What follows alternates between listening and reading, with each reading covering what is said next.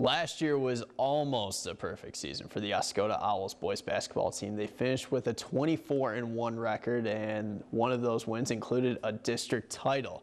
And they are back in business as they get ready for the 2019-2020 season, but under a new head coach. Michael Poland, a 1992 Oscoda graduate, steps in as first year head coach under the varsity level. He's working with three all-conference players, which are seniors guards Brayden Mallak and Gabe Kellstrom, and junior guard Owen Franklin. This trio combined over 67% of their points last season. This is a dedicated Owls team that believes in one another and look to make some noise for this upcoming season.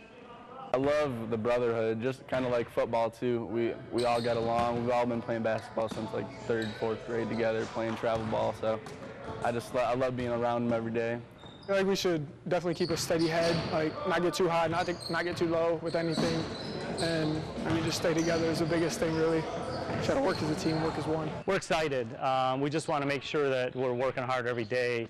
Uh, obviously, coming off the year that we did last year, um, there's nothing but great things that, could, that can happen out of it. Uh, but we got, we're just trying to work hard every day in practice, and, and uh, if we do that, everything's going to take care of itself. The Owls' first game is on December 10th as they host Au Gres Sims.